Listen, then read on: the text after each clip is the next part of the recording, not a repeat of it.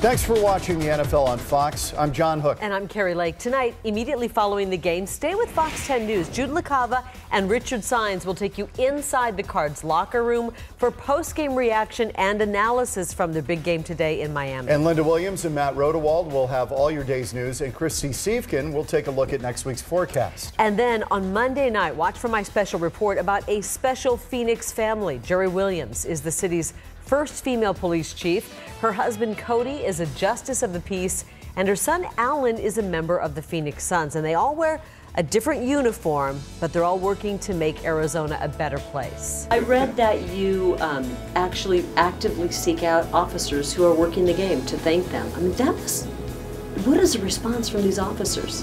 When they put on that uniform, it, it means so much. They go out and they protect and they serve the community to the best of their abilities. And I feel like who am I not to thank them or to just you know wish them a safe night. Just little stuff like that, I, I feel like can go a long way. We normally eat together, um, say a prayer. I mean, awfully very thankful at Christmas time for all the blessings that we've been given. So typically say one thing we're thankful for at Christmas time.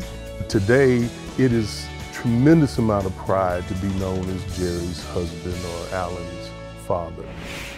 I loved sitting down with this family. You ever do an interview and you wish it could last forever? Yeah, and that's a good sign that it's it's a good interview. They're really cool people, and I can't wait for you to see the piece on birthday. And homegrown. So Homegrown, can't wait. right. All right, one family, three uniforms on Fox 10 News at 9 on Monday.